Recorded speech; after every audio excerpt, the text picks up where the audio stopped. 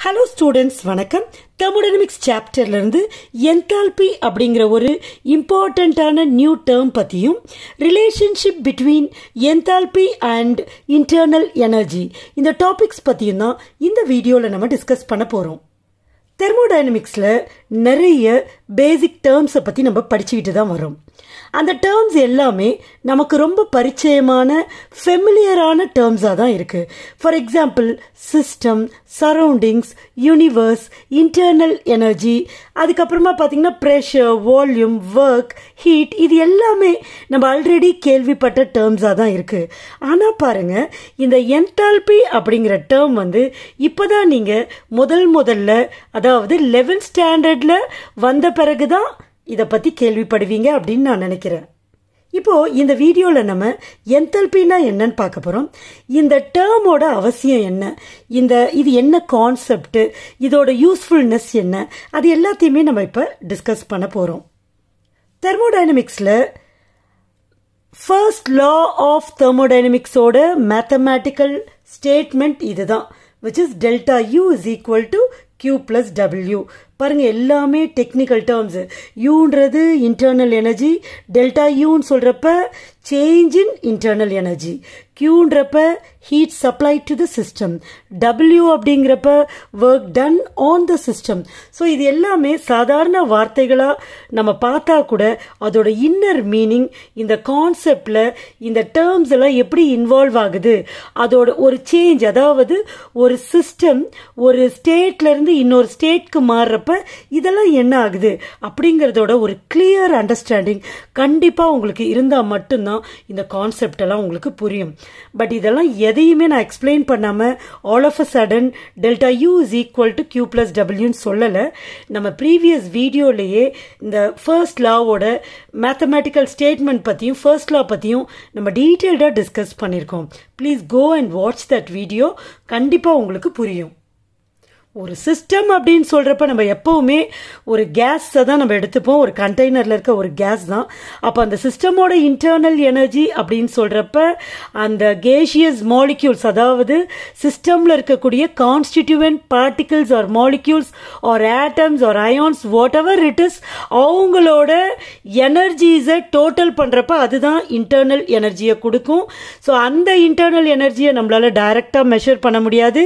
We can measure only the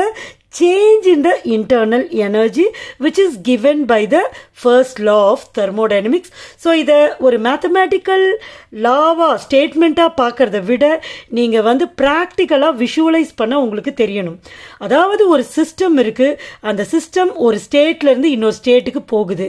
எப்போ போகுது? அதோட இன்டர்னல் எனர்ஜி மாறுறப்ப போகுது. அப்போ இன்டர்னல் எனர்ஜி எப்போ மாறுது? அந்த சிஸ்டம்க்கு நம்ம ஹீட்டை சப்ளை பண்ணுறப்பையோ ஆர் அந்த ஹீட் அந்த சிஸ்டம் மேலே ஒர்க் டன் நடக்கிறப்பையோ ஆர் அந்த சிஸ்டம் ஒர்க்கை நடத்துச்சுனாலோ அதாவது if work is done on the சிஸ்டம்னாலோ or if work is done by the சிஸ்டம்னாலோ அந்த சிஸ்டத்தோட இன்டர்னல் எனர்ஜி மாறும். Okay that is given by the first law of thermodynamics which is delta U is equal to Q plus W so இவ்வளோ விவரங்கள் உங்களுக்கு ப்ராக்டிக்கலாக புரிஞ்சிருக்கணும். இப்போ நம்ம enthalpy பற்றி தான் நம்ம பார்க்க போகிறோம் சரியா?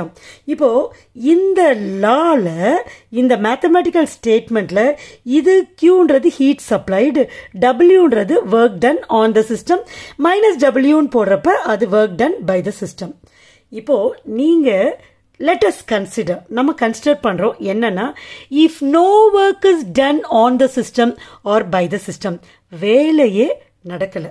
ஆனால் அந்த சிஸ்டம்க்கு நம்ம ஹீட்டை சப்ளை பண்ணுறோம் அப்போது நம்ம சப்ளை பண்ண ஹீட் என்ன ஆகும் அப்படின்னு உங்களால் சொல்ல முடியுமா? கண்டிப்பாக அந்த சிஸ்டமில் ஹீட் சப்ளைடுன்னு சொன்னல அது ஹீட் அப்சார்ப்டாகவும் இருக்கலாம் ஆர் அந்த சிஸ்டம்லேருந்து ஹீட் வெளியில் போயிருக்கலாம். ஹீட் இவால்வ் எப்படி வேணால் சொல்லலாம். சரியா? ஸோ அது வந்து கண்டிப்பாக இந்த ஏன்னா ஒர்க் டன் வந்து நோ ஒர்க் இஸ் டன் சொல்லிட்டோம் அப்போ W will become equal to zero அப்போ இது ஜீரோனா டெல்டா யூ வந்து கியூக்கு ஈக்குவல் ஆகிடும் அப்போது நம் அந்த ஹீட் அப்சார்ப்டோ ஆர் ஹீட் இவால்வ்டுக்கும் இந்த சேஞ்ச் இன் இன்டர்னல் எனர்ஜிக்கும் ஒரு கண்டிப்பாக ரிலேஷன்ஷிப் இருக்கும். ஏதோ இவங்க ரெண்டு பேருக்குள்ள ஒரு தொடர்பு இருக்கும். அப்போ அங்கே அந்த சேஞ்ச் இன் இன்டர்னல் எனர்ஜியை நம்ம எப்படி மெஷர் பண்ணுறது இப்போ ஒர்க் டன்னுக்கு ஒரு ஜென்ரல் எக்ஸ்பிரஷன் இருக்கு. உங்களுக்கு தெரியும்ல? W is equal to minus P delta V where P is pressure delta V is the change in volume இப்போ சே இப்போ சேஞ்ச் இன் வால்யூம் அப்படின்னு சொல்கிறேன்னா அங்கே ஒரு ப்ரெஷர் வால்யூம் ஒர்க் நடக்குது. அதாவது எக்ஸ்பான்ஷனோ compression of an ideal gas அப்படின்னு நம்ம சொல்லலாம். இப்போ இதுதான் வந்து பாருங்கள் delta U is equal to Q டபிள்யூக்கு பதிலாக மைனஸ் பி டெல்டா வி அப்படின்னு நம்ம சொல்கிறோம் இப்போ அங்கே ஒர்க்கே நடக்கலைன்னா இந்த டெல்டா வி வந்து ஜீரோன்னு அர்த்தம். அதாவது ஒர்க் நடந்தால் தான் இப்போ சப்போஸ் ஒரு கண்டெய்னர் இருக்குது இப்போ எக்ஸ்பேன்ஷன் நடந்துச்சுன்னா இந்த பிஸ்டன் இப்படி மூவ் ஆயிருக்கும். அப்போ வால்யூம் இன்க்ரீஸ் ஆயிருக்கும். சரியா? அப்போ சேஞ்ச் இன் வால்யூம் கண்டிப்பாக இருக்கும். ஆர் நம்ம ப்ரெஸ் பண்ணியிருக்கோம் கம்ப்ரெஷன்னா வால்யூம் என்ன ஆகும் பிஸ்டன் கீழே வரும். அப்போ வால்யூம் வந்து குறைஞ்சிருக்கும். அப்பையும் வால்யூம் என்ன ஆயிருக்கும் சேஞ்ச் ஆயிருக்கும். அப்போ ரெண்டுமே ஒர்க்கு தான். ப்ரெஷர் வால்யூம் ஒர்க்கு தான். ஆனால் நம்ம இங்கே என்ன சொல்கிறோம் நோ ஒர்க் இஸ் டன் வேலையே நடக்கலை. அப்போ டெல்டா வி வந்து ஜீரோ தானே? ஓகே டெல்டா சேஞ்ச் இன் வேலையே நடக்கலைன்னா வால்யூம் சேஞ்ச் ஆயிருக்காது. அப்போ டெல்டா வி வந்து ஜீரோவாக இருக்கும். அப்போ இந்த டேர்மே ஜீரோவாகிடும் therefore delta U is equal to Q ஆகிடும் ஸோ வால்யூம் சேஞ்ச் ஆகலைன்னா அங்கே கான்ஸ்டன்ட் வால்யூம் இருக்குன்னு அர்த்தம். ஸோ வால்யூம் வந்து சேஞ்ச் ஆகலை அப்படின்னா அதுதானே அர்த்தம். அப்போ கான்ஸ்டன்ட் வால்யூம் இருக்கும். அப்போ கான்ஸ்டன்ட் வால்யூமில் இங்கே வந்து ஹீட்டு ஹீட் இன்வால்வ்டு அதுதான் கியூவி அப்போது Q V will be equal to change in internal energy so அங்கே எவ்வளோ ஹீட் இன்வால்வ் ஆகிருக்கோ அட் கான்ஸ்டன்ட் வால்யூமில் அதை மெஷர் பண்ணாலே நம்ம வந்து இன்டர்னல் எனர்ஜியை மெஷர் பண்ணலாம். அப் இல்லையா? இதுக்கு அர்த்தம் அதுதானே. பட் ப்ராக்டிக்கலாக யோஸ் யோசிச்சு பாருங்கள் இப்போ சயின்டிஸ்டெல்லாம் எக்ஸ்பெரிமெண்ட்ஸை லெபார்ட்ரியில் கண்டக்ட் பண்ணுவாங்க. லெபார்ட்ரியில் எதில் கண்டக்ட் பண்ணுவாங்க? கண்டெய்னரில் கண்டக்ட் பண்ணுவாங்க. கிளாஸ் வெசல்ஸில் கண்டக்ட் பண்ணுவாங்க. ஆர் டெஸ்ட் டியூப்பில் கன் கண்டக்ட் பண்ணுவாங்க. ஆர் இது மாதிரி ரவுண்ட் பாட்டம்டு ஃப்ளாஸ்கில் கண்டக்ட் பண்ணுவாங்க. ஸோ இந்த மாதிரி வேரியஸ் அப்பாரட்டஸை எக்ஸ்பெரிமெண்ட்ஸ்க்கு யூஸ் பண்ணுவாங்க. பாருங்கள் எல்லாமே ஓப்பனாக தான் இருக்குது ஓகே ப இதில் போய் எங்கே கான்ஸ்டன்ட் வால்யூமை நம்ம மெயின்டைன் பண்ண முடியும்? வால்யூம் இஸ் நாட் கான்ஸ்டன்ட் இல்லையா? அப்போ கான்ஸ்டன்ட் வால்யூம் அப்படிங்கிற ஒரு கண்டிஷனை வச்சுக்கிட்டு ஹீட் அப்சார்ப்டை மெஷர் பண்ணவே முடியாது. Because we cannot maintain constant volume in most of the reactions or in most of the experiments புரியுதா? அப்போ measurement of change in internal energy becomes difficult அப்போ எப்படி தான் மெஷர் பண்ணுறது என்ன பண்ணுறது அப்படிங்கிறப்ப தான் சயின்டிஸ்ட் வந்து they introduced a new concept called enthalpy அந்த என்தால்பியை எப்படி டிஃபைன் பண்ணாங்கன்னா ஹெச் என்தால்பிக்கு ஹெச் அப்படிங்கிற ஒரு டினோஷனை கொடுத்து H is equal to U internal energy தான். பாருங்கள் என்தால்பின்றது இன்டர்னல் எனர்ஜி தான். ப்ளஸ் கூடவே இந்த ப்ரெஷரையும் அதாவது அந்த சிஸ்டத்தோட இன்டர்னல் எனர்ஜி ப்ளஸ் அந்த சிஸ்டத்தோட ப்ரெஷர் இன்டு அந்த சிஸ்டத்தோட வால்யூம் ஸோ இந்த ஈக்குவேஷனையும் நம்ம எப்படி எழுதலாம் அப்படின்னு பார்த்தீங்கன்னா delta U is equal to இப்போ நம்ம ப்ரெஷரை கான்ஸ்டண்ட்டாக வச்சுக்கலாம். முக்கியமாக இங்கே என்தல்பி அப்படின்றப்ப வால்யூமை கான்ஸ்டண்ட்டாக வச்சுக்க முடியாது. ஸோ அதை கேரி அவுட் பண்ணுறது ரொம்ப கஷ்டம் ப்ராக்டிக்கலி பட் ப்ரெஷரை கான்ஸ்டண்ட்டாக வச்சுக்கலாம். ப்ரெஷரை மட்டும் எப்படி கான்ஸ்டண்ட்டாக வச்சுக்க முடியும்? அப்படின்னு பார்த்தீங்கன்னா அட்மாஸ்பியரிக் ப்ரெஷர் அப்படிங்கிறது கான்ஸ்டன்ட் தானே. இப்போ ஒரு சிஸ்டம் இருக்குது சரியா? இப்போ இங்கே இருக்கிறது வந்து அட்மாஸ்பரிக் ப்ரெஷர் ஸோ இது ஓப்பனாக இருக்குது ஸோ இந்த ப்ரெஷரும் இந்த சிஸ்டமில் இருக்க ப்ரெஷரும் ஈக்குவல் தானே? அப்போ ப்ரெஷர் வந்து கான்ஸ்டண்ட்டாக இருக்கும் தானே? அப்போ நமக்கு அது ஒரு பெரிய கஷ்டமான விஷயம் இல்லை தானே? இல்லையா? ஸோ இந்த ஈக்குவேஷன் என்ன ஆகிடும் டெல்டா யூ கான்ஸ்டன்ட் ப்ரெஷரில் எவ்வளோ ஹீட் அப்சார்ப் ஆகுதோ? Q P is the heat absorbed at constant pressure minus P delta V முக்கியமாக இந்த ஈக்குவேஷனில் ப்ரெஷர் இஸ் கான்ஸ்டன்ட் அப்போ இந்த மைனஸ் பி டெல்டா வி எதை டினோட் பண்ணுது? It denotes the work done by the system பாருங்க minus வந்துடுச்சு ஸோ நீங்கள் வந்து உடனே பை த சிஸ்டம் அப்படின்னு சொல்லிடணும். சரி இப்போ மட்டும் இன்டர்னல் எனர்ஜி சேஞ்சை நம்மளால் எப்படி மெஷர் பண்ண முடியும்? இப்போ பார்க்கலாம். இப்போ டெல்டா யூ அப்படின்றது என்னது? Change in internal energy from the final state to initial state so இதை நான் அப்படியே எக்ஸ்பேண்ட் பண்ணி எழுதினேன் பாருங்க. டெல்டா யூ அப்படிங்கிறது சேஞ்ச் இன் இன்டர்னல் எனர்ஜி சொன்னேன் இல்லையா? So U two minus U one இதுக்கு பதிலாக போட்டுட்டேன். Okay this is equal to Q P இருக்கா? கியூபியை நான் அப்படியே போட்டுட்டேன். மைனஸ் பி இதுவும் என்னது? V two minus V one okay so இதை அப்படியே நம்ம எக்ஸ்பேண்ட் பண்ணுவோம். So U two minus U one is equal to Q P minus P V two minus into minus plus P V one ஓகேவா புரியுதா? இப்போ இதை இன்னும் ஸ்டில் நம்ம சிம்பிளிஃபை பண்ணலாம். கியூபியை அப்படியே வச்சுப்போம். இந்த யூ டூ யூ ஒனில் ஒன்னாக்கிடுவோம் சரியா? கியூபி இங்கே இருக்குது ஸோ இந்த சைட்லேயே நான் போட்டுக்கிறேன். கியூபி இஸ் ஈக்குவல் டு இப்போ யூ டூ இந்த இந்த பக்கம் இருக்குது யூ டூ அப்படியே இருக்கட்டும். இங்கே பிவி டூ அந்த சைடு வரட்டும். ஸோ மைனஸ் பிவி டூ இந்த சைடு வந்துச்சுன்னா பிவி டூ ஓகே அதாவது டூவெல்லாம் ஒன்னாக்கிட்டேன் சரியா? இங்கே மைனஸ் வி ஒன் இருக்குது இந்த பிவி ஒன் இந்த பக்கம் வந்தால் மைனஸ் பிவி ஒன் ஆகிடும் ஸோ ரெண்டுத்துலேயுமே மைனஸ் காமன் ஆகிடும் so U one minus I'm sorry இந்த இந்த பிவி ஒன் அந்த பக்கம் வந்துச்சுன்னா மைனஸ் பிவி ஒன் ஆகிடும்னு ஸோ அந்த மைனஸையும் நான் காமனாக வெளியில் எடுத்துட்டேன். ஸோ பிவி ஒன் ஆக்சுவலாக நான் ஒரு ஸ்டெப்பை இதில் சொல்லிட்டு சொல்லியிருக்கணும். ஸோ இதுக்கு ரொம்ப டைம் ஆகுமே அப்படிங்கிறதுனால ஒரு ஸ்டெப்பை நான் வந்து விட்டுட்டேன். ஸோ இது மாதிரி வருது இல்லையா? ஸோ இது என்ன பாருங்கள் யூ ப்ளஸ் பிவி இங்கே பாருங்க H is equal to U plus பிவின்னு இருக்கா ஸோ டூன் இருக்கா ஸோ இதுக்கு பதிலாக நம்ம ஹெச் டூ அப்படின்னு சொல்லலாமா? மைனஸ்க்கு மைனஸ் திரும்ப U plus P V one U plus P V one அப்போ இதை ஹெச் ஒன் ஒன்னுன்ற நம்பர் வரதுனால இதை எடுத்துகிட்டு அதுக்கு பதிலாக ஹெச் ஒன் அப்படின்னு சொல்லலாம். So Q P is equal to H two minus H one வருது. Therefore Q P is equal to இது change in enthalpy.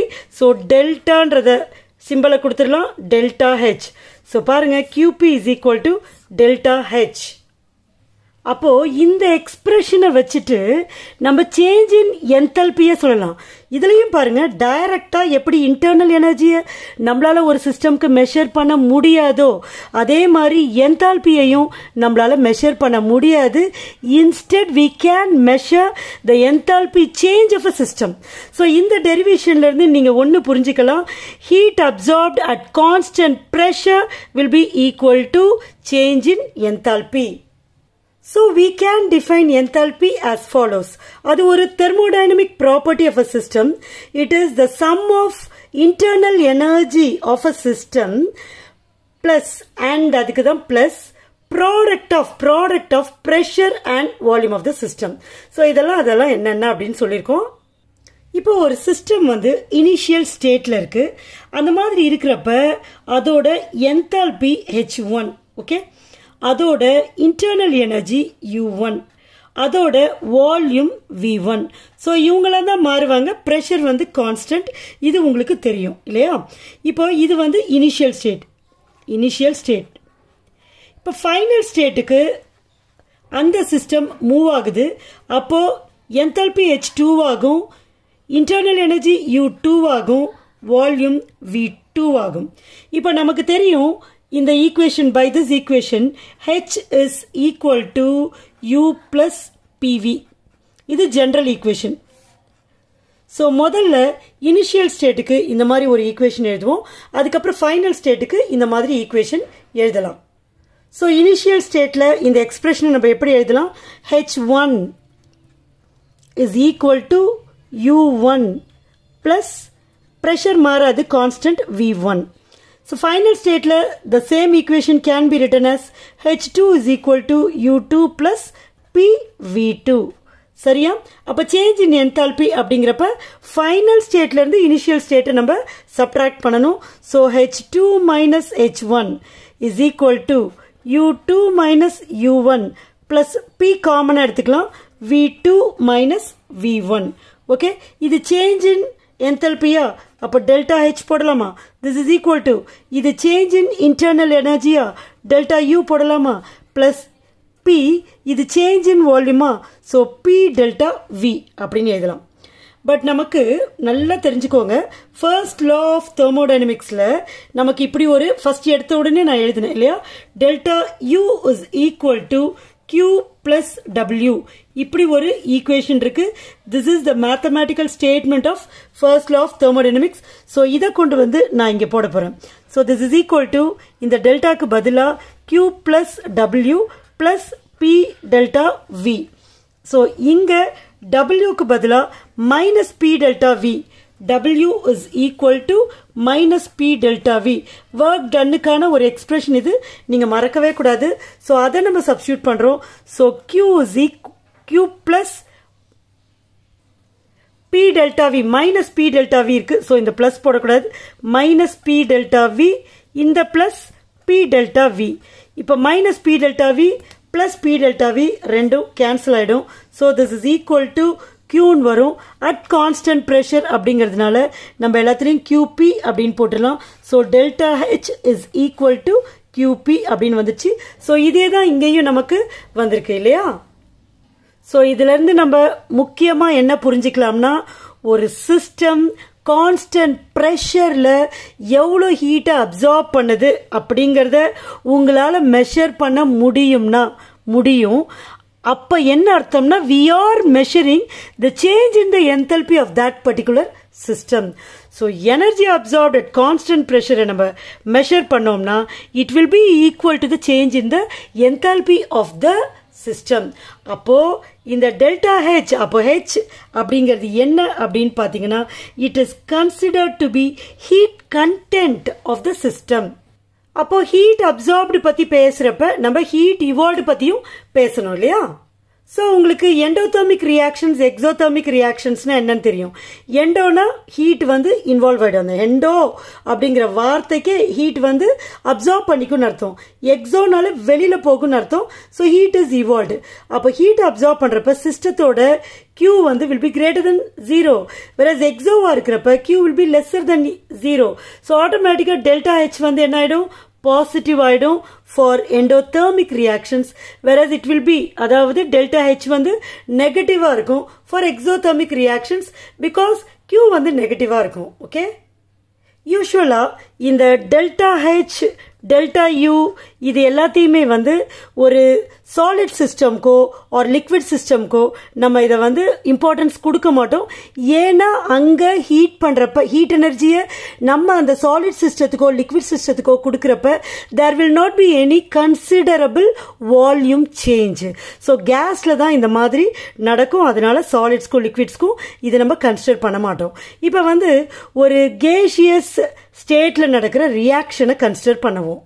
அந்த ரியாக்ஷன் முக்கியமாக ஒரு க்ளோஸ்டு சிஸ்டமில் நடக்குது. அண்ட் பார்த்தீங்கன்னா ரியாக்டன்ஸும் கேஸஸ்ஸு ஃபார்ம் ஆகிற ப்ராடக்ட்ஸும் கேஸஸ் ஓகே அண்ட் இந்த ரியாக்ஷன் முக்கியமாக கான்ஸ்டன்ட் ப்ரெஷரில் நடக்குது. ஸோ ஐடியல் கேஸ் லாவை யூஸ் பண்ணி இனிஷியல் ஸ்டேட்டில் ரியாக்டன்ஸ்க்கு ஈக்குவேஷனையும் அதே மாதிரி ஃபைனல் ஸ்டேட்டில் ப்ராடக்ட்ஸ்க்கான ஈக்குவேஷன்ஸையும் நம்ம எழுதலாம். இப்போ ஐடியல் கேஸ்லாம் என்னது? PV is equal to NRT முதல்ல இப்போ ரியாக்டன்ஸ்க்கு எழுத போகிறோம் ஸோ ரியாக்டன்ட் இனிஷியல் ஸ்டேட்டில் இருக்குது ஸோ பிக்கு பி போட்டுடுறேன். V initial state so V ஐன்னு போட்டுடுறேன். This is equal to N N number of moles of reactants so அதுக்கும் என் ஐன்னு போட்டுடலாம். ஸோ இந்த ஐ அப்படிங்கிறது இனிஷியல் ஸ்டேட்டையும் ரெஃபர் பண்ணும். It indicates also the reactants gaseous reactant molecules R T அப்படியே இருக்கும். அதே மாதிரி ஃபைனல் ஸ்டேட்க்கு அதாவது ப்ராடக்ட்ஸ்க்கு V final state is equal to NF R T இப்போ இது ரெண்டுத்துக்கும் நம்ம டிஃப்ரென்ஸ் கண்டுபிடிப்போம். ஸோ பாருங்கள் பி கான்ஸ் காமனாக அப்படியே வச்சுக்கலாம். இது வந்து எப்போவுமே ஃபைனல்ல இருந்து இனிஷியலை தான் நம்ம டிஃப்ரென்ஸ் கண்டுபிடிக்கணும் இல்லையா? So V final minus V initial is equal to N final minus N initial into RT okay so இதை வந்து பி அப்படின்னு வச்சுக்கலாம். இது வந்து delta V this is equal to இது வந்து number of moles of products gaseous products minus number of moles of gaseous reactants. அதை change in the number of moles of gaseous products and reactants அதை delta என்ஜின்னு denote பண்ணலாம். Into R T so இந்த மாதிரி ஒரு general equation நமக்கு கிடைக்கும். இந்த எக்ஸ்பிரஷனை இப்போ H is equal to delta H is equal to delta U plus P delta V அப்படிங்கிற ஒரு ஈக்குவேஷனை நம்ம டிரைவ் பண்ணி வச்சுருந்தோம் இல்லையா? ஸோ அதில் போய் நம்ம சப்ஸ்டியூட் பண்ணலாம். ஸோ டெல்டா ஹெச்சுக்கு டெல்டா ஹெச் அப்படியே போட்டுருங்க. டெல்டா யூக்கு டெல்டா யூ அப்படியே போட்டுருங்க. ப்ளஸ் பி டெல்டா விக்கு பதிலாக இப்போ நம்ம கண்டுபிடிச்ச டெல்டா என்ஜிஆர் டீயை போட்டுருங்க. Okay So this is the relationship between delta H and delta U. So delta H இந்த வேல்யூஸ்லாம் தெரிஞ்சா delta U கண்டுபிடிக்கலாம் or uh, delta U இதெல்லாம் தெரிஞ்சா delta H கண்டுபிடிக்கலாம் ஓகே